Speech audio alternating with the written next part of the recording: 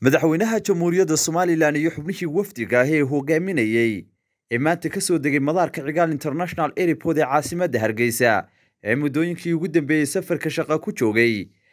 Dalkaasi maraykanka oo si diiran maanta hargeysa loogu soo dhoweeyey ayaa gebagabadii waxa uu madaxweynuhu u gudbay xarunta qasriga madaxtooyada waxaana halkaasi ku soo dhoweeyey xubno ka mida golaha wasiirada siyaasiyiin iyo haldoor kale oo xisbiga talada dalka haya kulmiye ka mid a iyo bulshada rayidkaaba.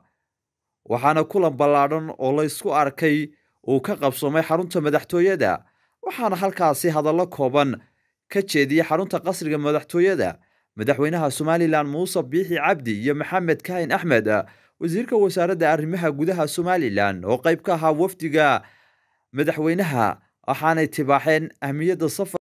Wasalaatu wasalaamu calaa sayidina maxamed wacalaa aalihi wasaxbi ajmaciin madaxweynaha madaxweyne ku-xigeenka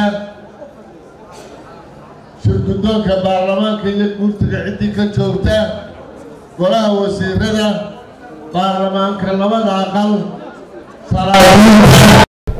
waayeelka iyo waxgaradka barweyn iyo mudanayaal halkaas halka isugu yimi ee madaxweynaha iyo wafdigiisa soo dhoweynayay golahana dadkii mudanka aha uu fadhiyo asalaamu calaykum waraxmatullaahi wabarakaatu marweyn iyo mudanayaal sidaad la socotaan madaxweynaha jamhuuriyadda somalilan wuxuu halkan ka kaxeeyey oo hogaaminayey wafdi aada u ballaadhan oo noociisu mar horena laga yaabo inaanu ina soo marin oo isugu jira xubno golaha wasiirada ka tirsan iyo mudanka sharaa'iga inta ugu waaweyn ee ganacsiga ah ee jamhuuriyadda somalilan ayaa socdaalkaa waxaanu ku tagnay dalka maraykanka.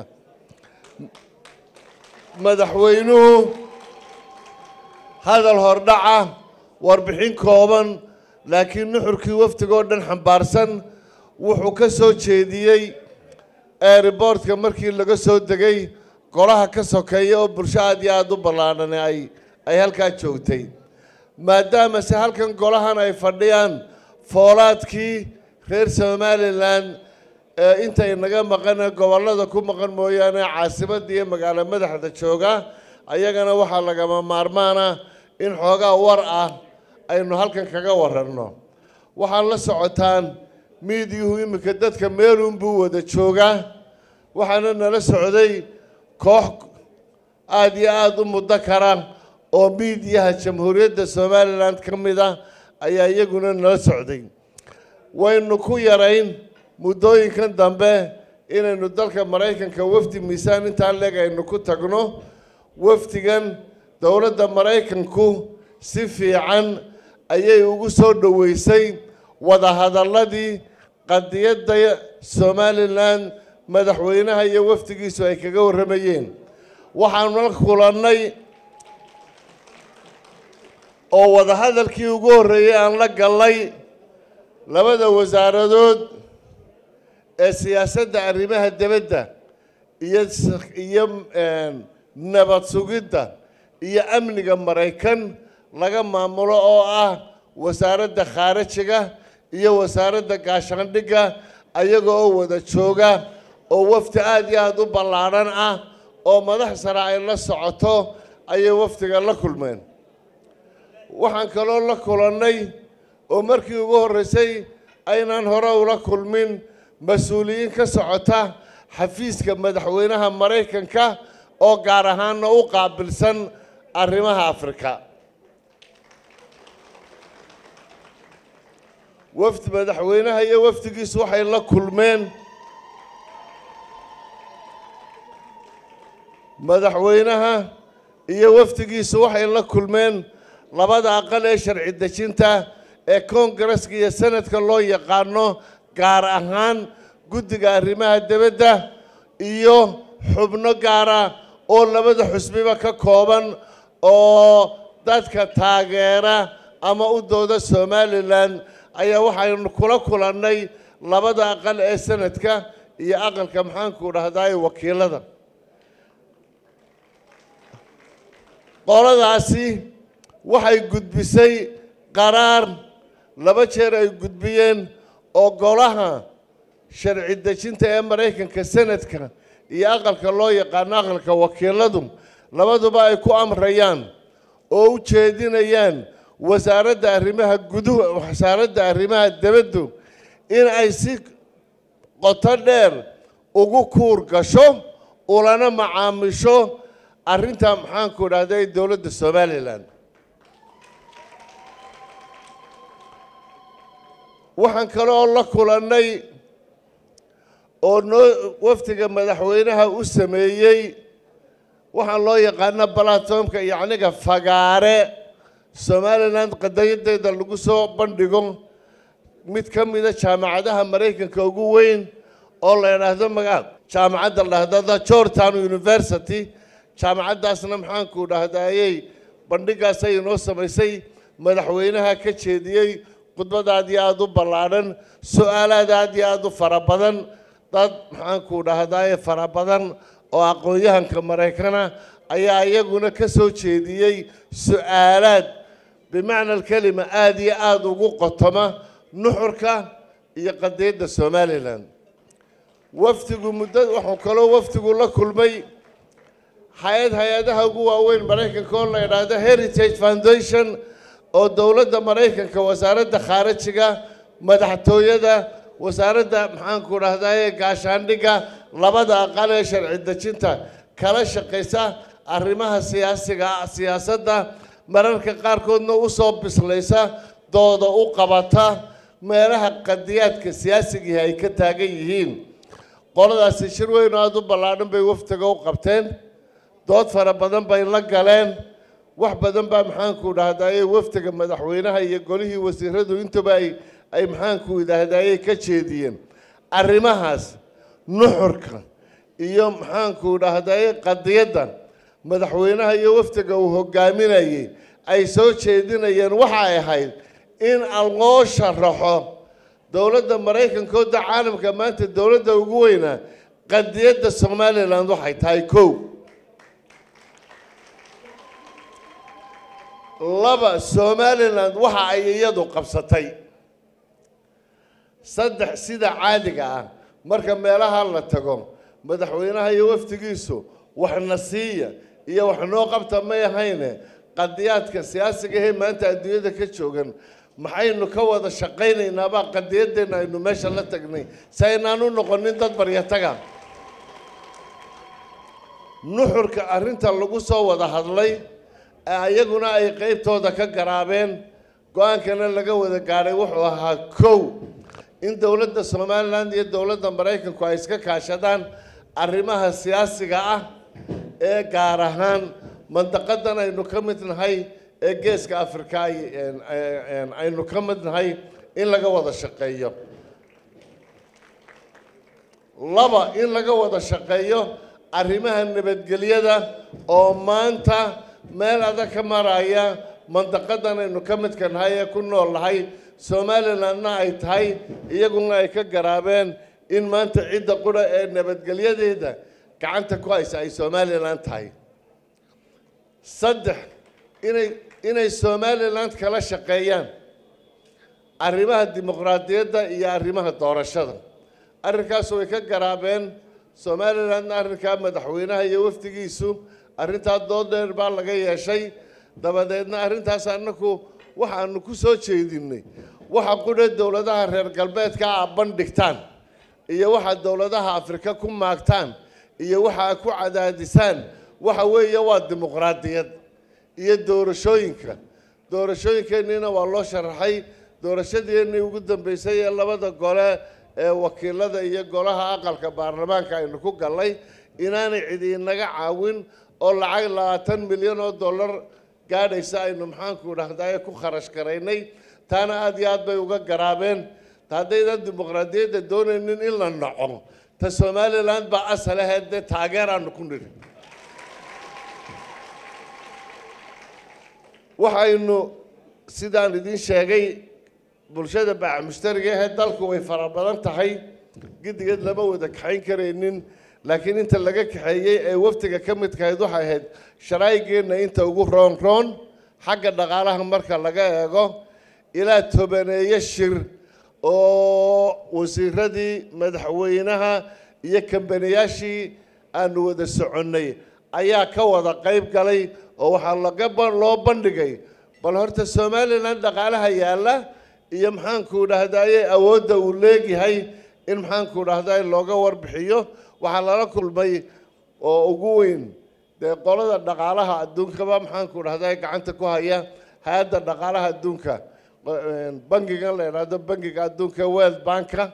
Hay'adda dhaqaalaha maraykanka rugta ganacsiga ee maraykan wasaaradda ganacsiga ayaa iyaduna si aada iyo aada muddo kara uga soo qayb gashay oo wasiirada oo uu hogaaminayo wasiirka ganacsigu iyo baayic mushtarigeenu uga wada hadlay iyo la taliyaha madaxweynaha ee maxaanku dhahdaye arrimaha dhaqaalaha iyo la taliyaha madaxweynaha ee arrimaha qaaradda yurub ayaa laga wada hadlay. Si fiican baa la isula lafaguray arrintaas oo ujeeddadeeda ugu badani ay ahayd baayic mushtarigeenna bacdamaa baananaynaan lahayn.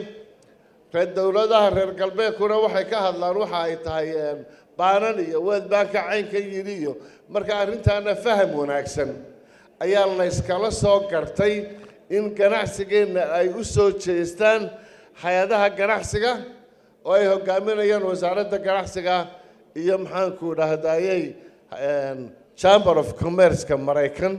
Waxaan kaloo la kulannay marka maraykan iyo markaa yurubiya la joogo waxaa jira ururo fara badan organizations daneeya arrimaha siyaasadda oo ay ka mid tahay hay'adda heritage oo ay ka mid tahay washington near east policy company hay'ad la ydhaahdo oo iyaduna aada iyo aada u ballaadhan ayaana martigelisay madaxweynaha iyo wafdigiisii qadiyaadkana laga wada hadlay. Marka la ysku soo wada ururiyo waxaa ku soo ka soo baxay oo markii dambe waxaan ilaaway. Waxaa kaloo toosi noola shaqaynayey oo xaggaa markaanu tagnay wakiilka maraykan iyo xafiiskiisa. Halkaa inoo jooga maraykan bashiir good madaxweynuhuna shirkii uu ka ammaanay sida xaqiiqada ah. Kulan aad iyo u wanaagsan. Ballamo aad iyo aada u fara badan. Bismi illaahi raxmaan iraxiim assalaamu calaykum waraxmatullaahi wabarakaatu dhammaan ummadda somalilan meel walay joogaanba dibad iyo gudo dalka gabiaad oo dhan iyo dadweynaha caasimadda qalbiga iyo niyadda aad ugu soo dhaweyseen daljacaylkiina iyo ilaalinta aqalnimada ilaalinaysaan haddii aanu waftiga nahay aada iyo aad baan idinka mahadnaqayna walaalayaal waxaanu la soo noqonnay warsan iyo weersan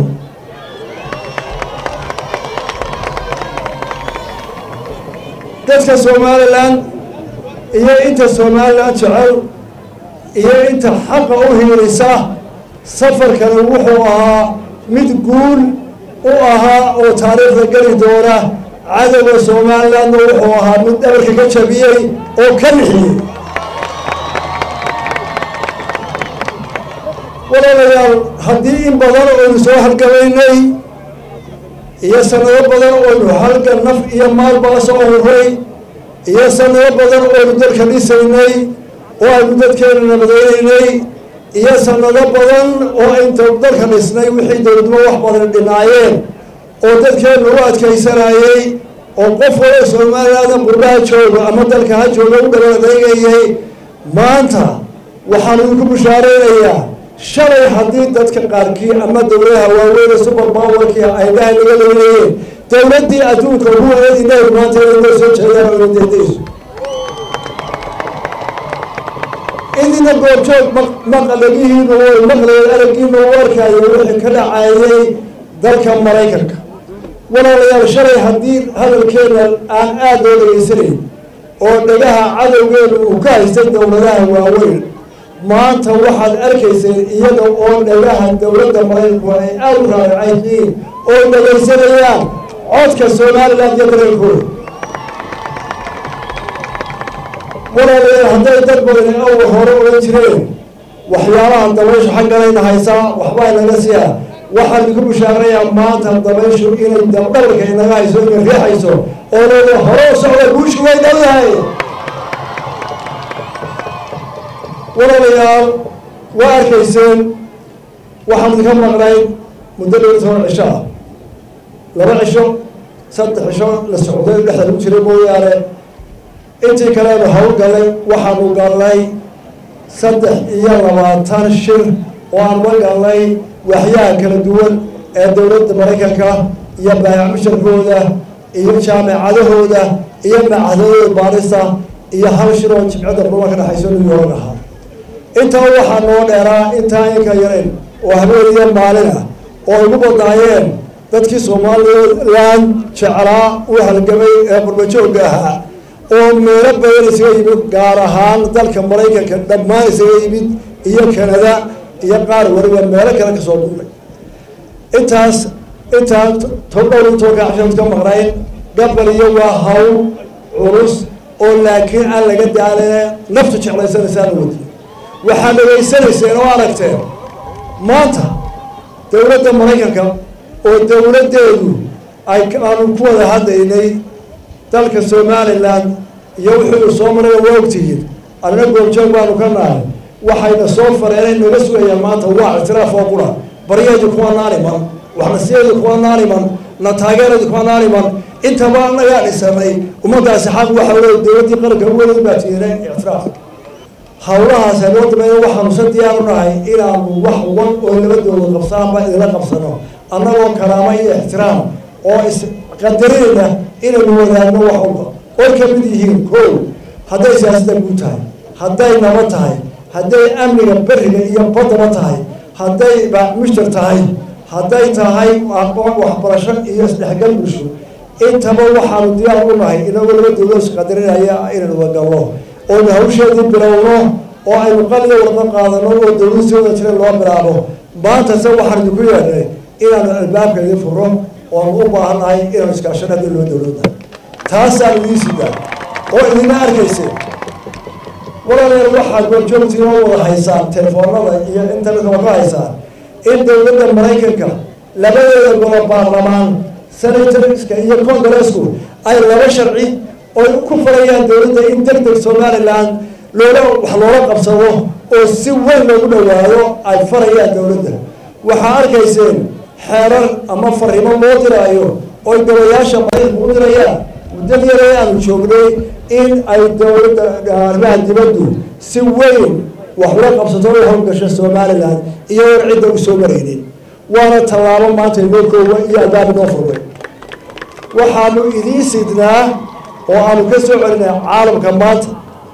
Shirkeedii iyo shiragaanu ku jiray iyo fariintii qarankana noo dhibay ee distoorkuna faray ee qaranku noo qadiidada gaarsiiya ummadda weliba meelaha ugu waaweyn jimcada qurumaha ka dhexaysa maraykanka in maanta intaanu geynay weliba midiyaha maraykankuna aanay ka warwareegine maanta af kasta oo adduunka lagu hadla lagaga dhegaystay iyo dal walba oo adduunkaana oo ay gaarsiiyeen midiyaha maraykanka walaalayaal iyadoo cayadu kurushahay idinkoo wararka intiisu badad hayay waxaanu maanta inoo sidnaa inuu inoo furmay xiriir cusub oo bilow ah oo laakiin dowlad iyo dad bay looga baahan hawl badan maraykanku iyo dadkaan dhegeysanaya intaasoo loo sameeyey shir iyo fasilita maxay noo qadarinayeen annagu ashkhaas baan nahay waxay qadarinayeen shacabka somalilan meel joogo guda iyo dibadba iyo halganka ay soo galeen iyo dalka ay dhisteen iyo tala wadaagga iyo dimuqraadiyadooda iyo inay madaxdooda doortaan iyo inay wixigooda khaliifka khilaafkooda xaliyaan oo u dhabar adeegeen duruufaha adag ee haysta qadarintaa ku mutaysateen hawshaa aynu soo galay ee shicbigoo dhan bay ku mutaysay ayaa lanagu qadarinayay oo annagana lagu ixtiraamayay idinka lanagu qadariyaa lanagu joogay. Waxaynu u baahannahay inaynu halkaa ka sii wadno maanta meel ilaahay lagu mahadiyaabaynu joognaa. Waxaynu caalamka oo dhamme maanta dal kasta iyo af kasta laga dhegeysto laga hadlayaa qadiyadda somalilan waxa ku xiga iyada oo ictiraafka inoo muuqda maanta. Maalintii hore halkan aad ku imid ee aan konakari ka imid ee cilaaqaadka qolada xamroogeysa waxaynu ka balan qaadnay halkan ahayd halkan aynu taagnay. Inagu waynu wadaynaa adduunka dowladda boo tegaynaa caalamka oo dhan tuwa boo tegaynaa qadada horeynaa iyaguna midaba cilaaqaadka u jareen maantana maraykanka u jareen hadday ku dhacayeen. Kenya waa aada iyo aad baan idinku mahadnaqaynaa. Warka intaasaa ku soo kordhi waa cadceed dad badan oo weynaga horeeyaa waa mahadsantihiin hawshaa ku timaadeen waxaa inoo balana somaliland aynu hawsheeda iyo dhismaheeda wadno dadkeena oo walaalago gacmaha isqabsada inaga oo qadiyadeeda u dhabanaya tayla hadhay qof waliba dhibaatadu qaba isaga oo qaranka hormariya tiisa ayaa inoo balana aada iyo aad ba mahadsantihiin wasalaamu calaykum khaalid fantastic telefishinka ariel hargeysa